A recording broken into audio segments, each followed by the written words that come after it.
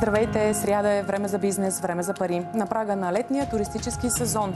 След като вече обърнахме внимание на сезонните работници и барачите на плодове и зеленчуци в миналия брой, днес наред са най-тежките проблеми пред началото на един друг сезон, летният. Ще поговорим за една от опциите за альтернативен туризъм. Има ли бъдеще у нас?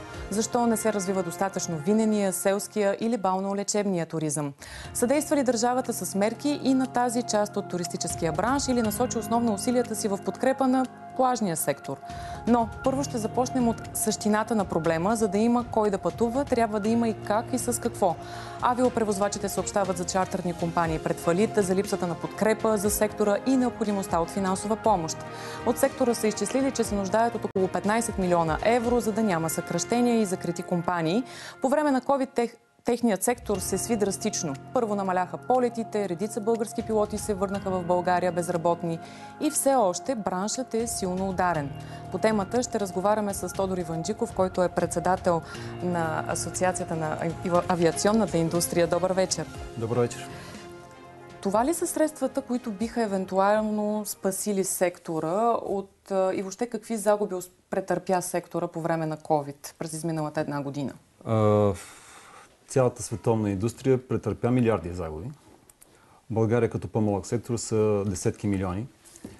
А, бих казал, че мина 100 милиона като загуби. А, компаниите се опитват по някакъв а, начин да компенсират загубите. Ние сме редовно на срещи с държавата.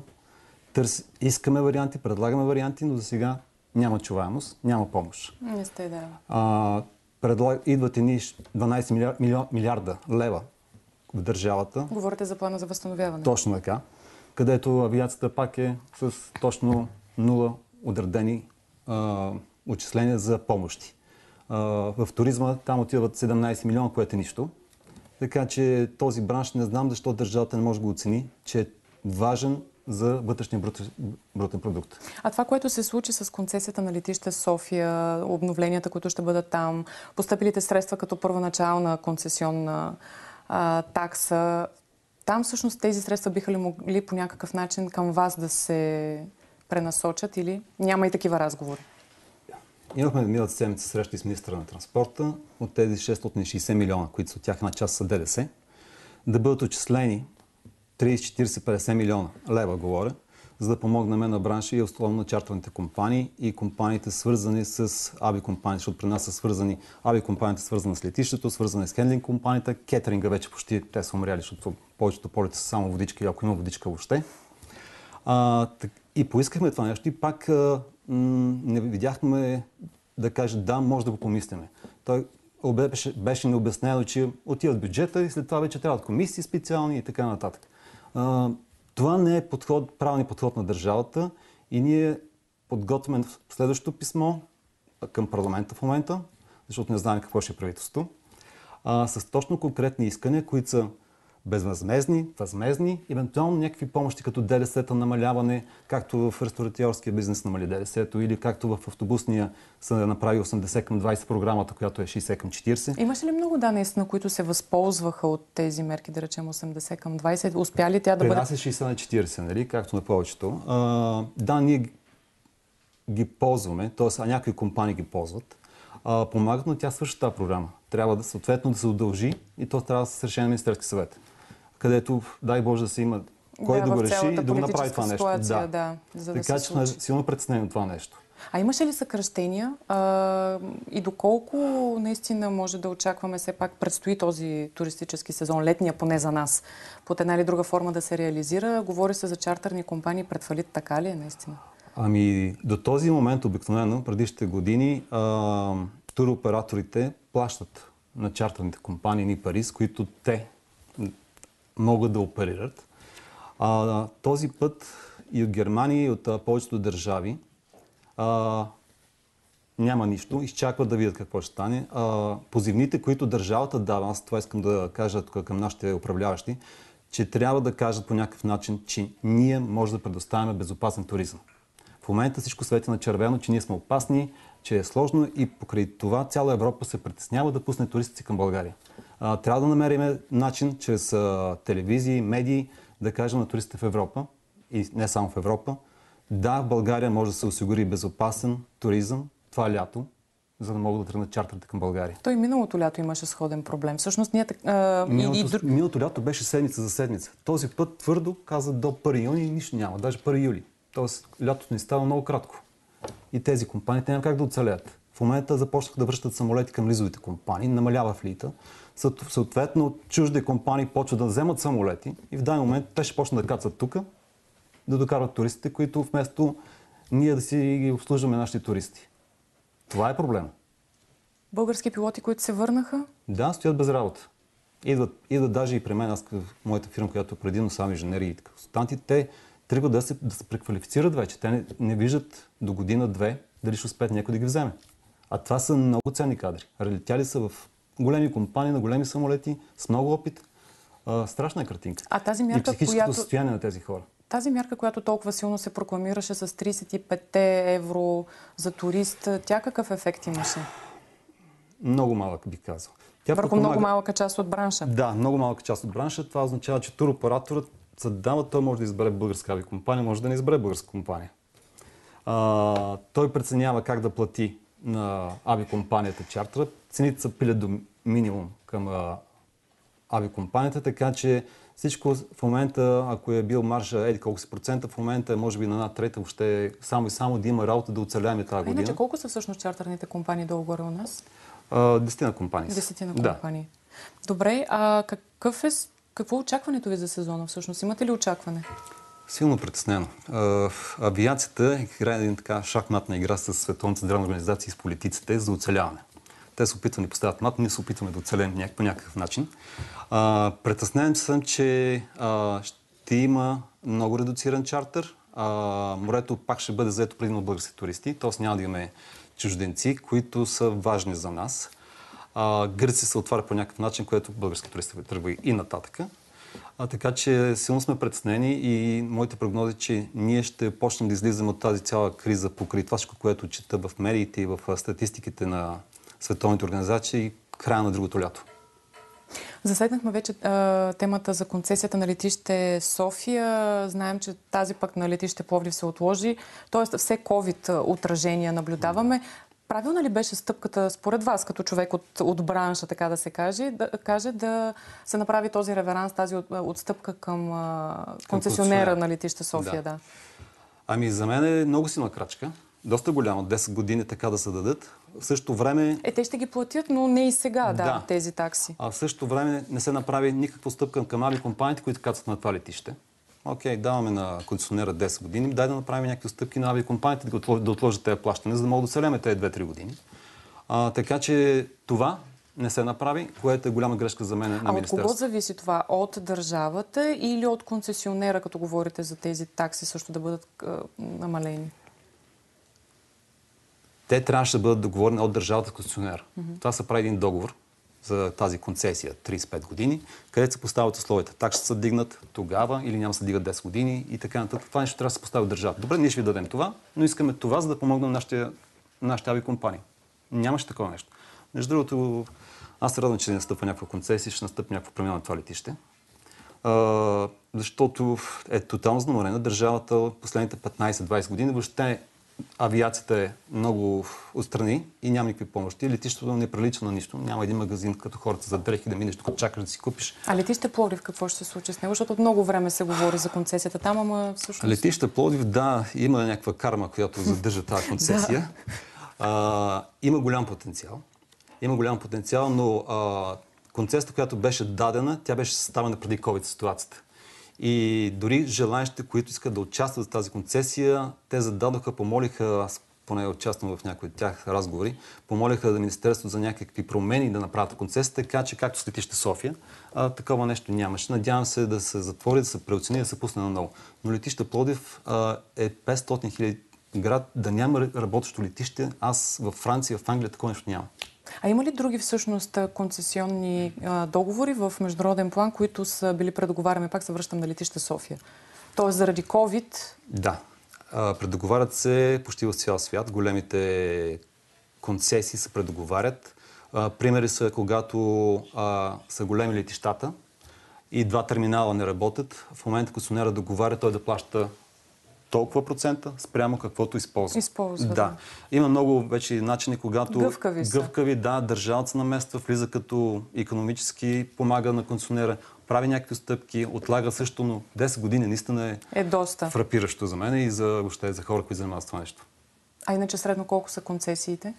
Концесиите по принцип като Дължина, като дългосрочност. 35-50 години, Да. може да се, нали, за, зависимо Но от държавата. Отстъпките, които се правят. Франция преди години а, Макрон, той, това беше един човек, който разви концесиите на летещата и разви концесионните компании, които стъпват в момента по света.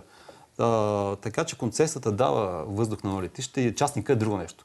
Вчера един български самолет, по принцип държавата му отказваше до ден, нови концесионер дойде да го посрещне, че е каснал, защото е нов самолет, който кацва за българска авиакомпания. Което е едно, един жест. Добре, много ви благодаря за това участие. Тодор да. Иванджиков в Бизнес БГ.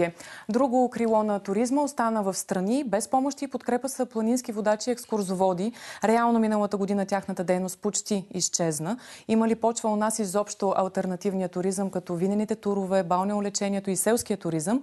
Решихме да обърнем внимание на един нишов пазар, като специализираните винотурове, които популяризират страната ни сред чуждите туристи. През изминалата година някои винарски изби са затворили туристическата си част заради тоталната липса на посетители. Как се справиха едни от най-популярните изби и големите в страната, вижте в репортажа и след това следва разговор по темата. Винар на Орбелия, край Петричкото село Коларово, отглежда 200 декара лозя и произвежда годишно около 100 тона вино. Голяма част от продукцията се реализира на пазара у нас, а част от виното се изнася за Германия, Полша и Англия. Разчитат и на винения туризъм, но заради пандемията се наложило да затворят част от винарната, където за туристите организират дегустациите. Имахме планове, е, всяка една винарна си има е, за този вид продажби на вина, някъде около 20% да формира от общите продажби, но за съжаление тази година нямаме никакви продажби от место. Чурбаджийски определи винения туризъм у нас като едно малко дете, което прохожда, но смята, че ако се развива, могат да се формират част от приходите в държавния бюджет, защото е свързан с културния и историческия туризъм. Вижте, ние не искаме пари от държавата. Ние искаме да ни помогне с маркетинг, с популяризиране на българския винен туризъм. Това искаме от държавата. Например, като ти човек в чужбина искаме да реализираме нашите вина, много ги харесват, но за съжаление казват, ами вижте, те са популярни, италианските, френските вина, вашите по-малко популярни и трябва много пари да даваме, за да ги популяризираме. И, и до там стигат нещата. В последните пет години собственици на седем винарни от района на Сандански и Петрич обединили усилията и заедно рекламират виното, което произвеждат. Изработили карта с винарните и близките до тях туристически забележителности, организират и различни инициативи, като празник на виното в Мелник, традиционният трифон за Резан, дни на отворените врати на всички винарни. И така, държавата обичайно съсредоточава усилията и мерките си само и единствено върху по-големия дял от туризма, именно морския. Всички знаем обаче, че той продължава не повече от 4 месеца. И альтернативният вид туризъм естествено започва да страда. В края на декември още, преди 5 месеца, Министерството на туризма обяви, че ще пусне нова мярка в помощ на екскурзоводите 3 милиона лева, за които водачите могат да кандидатстват, като целта е да изработят презентация или промо-клип за своята дейност и регионна работа. Мярката обаче е все така неактивна и не е ясно и кога ще стартира. Сега ще ви срещнем с Ивайло Катерски, който е лицензиран екскурзовод и един от първите винени гидове у нас. Освен на това сте и част от управителния съвет на Асоциацията на винените професионалисти. Здравейте! Здравейте и благодаря за поканата. Има ли бизнес изобщо, ниша за, за този пазар толкова, а, толкова тесен и толкова нишов в а, България? Говорим извън пандемията. Абсолютно, абсолютно има. Мога категорично да отговоря. Дори преди пандемията, както сама казахте, виненият туризъм е, беше, надявам се да, да бъркам с времето и е една от най-бързо развиващите се форми на альтернативен туризъм. Само ще си позволя така един а, цитат на становище на Световната а, туристическа организация към ООН, а именно, че кулинарията и виното се превръщат в все по-водещи фактори за опознаване на дадена дестинация. Колко, например, е, така като вас, е, кои са ви конкурентите? Колко сте на пазара, които специализирано правите така винени и турове? Ами малко са, може би се броят на пръстите на едната ръка, но а, тук говорим за един доста специализиран а, продукт, една доста така нишова форма на туризъм. А, не малко туроператори надграждат свои турове, било то приключенски, археологически и, И така нататък. включват и и включват и виното. дегустации в изби. Но малко сме като нишови А специализирани. примерно колко средно продължава един такъв винен тур и въобще какъв ви е таргета хора? Кой, кой, кой проявява интерес? Един тур продължава от, от а, един ден до 7-8, до 10 дни съм имал а, винени турове из България. А, таргетът а, основно са гости от Западна Европа, от Северна Америка, като бих казал, че така, целевата група са средна класа плюс като възраст 55-60 години хора, които Имат са- възможността имат да възможност, си но и са пътували на други места, защото за да дойде един човек, което изисква огромна така подготовка и усилия, той трябва да е малко авантюристично настроен, защото а, в общи линии действаме със собствени усилия и собствени така средства а, и а, България не е позната като А кои дестинация са най-популярните такива дестинации? Къде е България наистина сред тях? Ами България е бяло петно категорично. Разбира се, всички знаят за, за Франция, където най-консервативните винари дори се отварят Бордо. 4 милиона а, човека са посрещани. Тоест, а, дори най-така закостенелите се откриват към винен туризъм. Италия, разбира се, Северна Америка, Южна Америка, доста И Така, упорито върви напред. какво се случи? Предполагам, пролета то всичко беше затворено, така че буквално всичко е стопирало тогава. Ами да, в общи линии като един катаклизъм.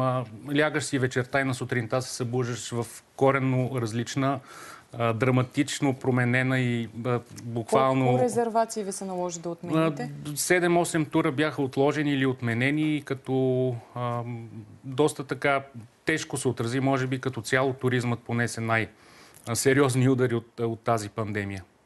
А как след това лятото, как се промениха нещата? Защото едва ли от тогава до сега нямате нито един тур. А, да, лятото малко или много аз се преориентирах към близки дестинации, включително и така, колкото и парадоксално да звучи, виеният туризъм ми даде и по-скоро пандемията възможност да се обърна към а, българските туристи, което винаги ми е липсвало, поради проста причина, че все още като че нямаме културата за, за такъв тип винено-кулинарно преживяване, бих казал, защото виното и кулинарията върват ръка за ръка.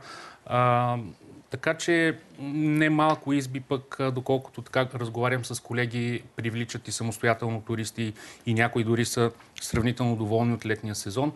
Но като организирани Успяхте ли пътувания да с чужденците, компенсирате обаче да, с български? м, не бих казал относително, относително по-скоро не. В смисъл такъв, ако да речем чужденците са били по-склонни за по-дълго време да дойдат, разбира се, идват и от чужбина, българите предполагам за по-кратко време, по-малко... Да, точно така. Като цяло тенденциите в туризма са кратки дестинации, по-малки групи, което пък пак може би е странно, но аз един вид благодаря на, на пандемията, защото именно тя насочи усилията дори на нашето Министерство на туризма, което беше и тук се надявам така, думата беше да, да е правилно използвана като време, минало време, насочена към морския туризъм. Тоест, а, а, откриха една нова форма на, на привлекателен а, туризъм на услуга. България има от, изключителни а, изби. Видяхме един много добър пример от, а, от долината на, на река Струма. Господин Чурбаджийски каза много важни неща. Дори с, с него сме пътували в, в Мозел, сме виждали доста добри примери. Та маркетинг трябва подкрепа и цялостна стратегия. Пак казвам, Министерство на туризъм и други институции обърнаха поглед към тази форма на, на туризъм и, и се надявам това да продължи активно и ефективно. А сега покрай Великден а, предстоят празници. Предполагам, повечето хора ще си следят дните. Вие имате кампания. Да, а, благодаря така за въпроса. Като председател на Българската асоциация на виените професионалисти, а, стартирахме една кампания в социалните мрежи Празнувам с българско вино, така че призовавам всички ваши зрители да, да открият честните, истински и а, качествени български вина. Като прелюдия пък за края на месец октомври ще а, сме подготвили едно друго събитие, събитие посветено на Деня на Мавруда, а, нашия така а, сорт символ. Така че опитваме се и отвъд, а, отвъд сферата на виения туризъм, защото в тази асоциация сме се събрали и сомелиери и собственици на изби и доста така широк кръг Да маркетолози, да популяризираме качественото, истинското вино и, и винен туризъм съответно в България и по света. Добре, благодаря ви много за това участие в Бизнес БГ. Кой как се справи с кризата е трудно да се обобщи и отговорите винаги са условни. Проучване на Leadership Support, компания в дигиталните процеси и развитие на човешките ресурси, показва, 63% казват, че са се справили по-добре от очакваното. 7 на 100 са преминали пандемията по-лошо от предвиденото.